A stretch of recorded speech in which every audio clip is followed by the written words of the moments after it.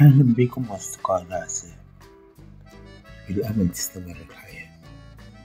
بالأمل تقدر تكسر كل القيود وتتحدى كل الإعاقات هو ده شعار صديقتنا الجميلة. لمواجهة الإعاقة ومواجهة كل التحديات.